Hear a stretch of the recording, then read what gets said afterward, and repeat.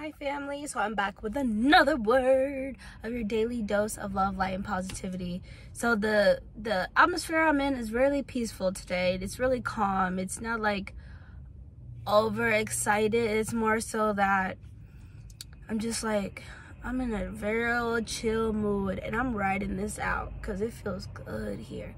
It feels real good and I know it's just God and the Holy Spirit's peace. Like you can rest. You did so much this past week. Like um, realize when God is telling you to rest because you'll know, like, you'll just have this feeling of, like, I did it. I did everything you told me to do. I was obedient to the word and everything that you said. Like, I did it. But the message today was how I figured out that love thy neighbor, love thy neighbor coincide with um, what was it? Love thy neighbor coincide with treat others how you want to be treated. There we go. Because thank you, Holy Spirit. Because you loving your neighbor, so just like anybody, your brothers and sisters, because we're all brothers and sisters in Christ, um, and treating them the way you want to be treated coincides because when you treat others how you want to be treated, you're also loving the person. Treat people how you want to be treated because you're treating them how you want to be treated yourself. And in you treating them like that you're indirectly loving yourself. And then with you loving yourself you're loving god and you're showing your love for god. So even if people are like you know hating on you. Oh i think that kind of goes with the message that i had yesterday but it kind of like Oh my goodness, hold on. Because God be connecting things. No.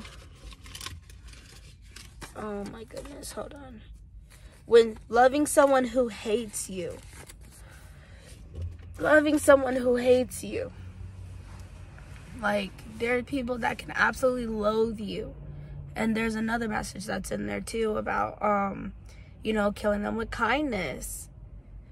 Because, man, oh man, when you're treating other people how you want to be treated, then you have no guilt, no shame, no no co guilty conscience of anything that may have happened and you know that you're showing God's love to the world and that is one of our duties as his disciples to show his love, his mercy, his grace, his kindness, his compassion. Um, also, like, I, I, I don't know about the wrath part because I feel like that's, that's God's job. That's God's job. So I just want to just stick on that and elaborate with that because love thy neighbor because with you treating them how you want to be treated is directly loving God and also honoring yourself through Christ.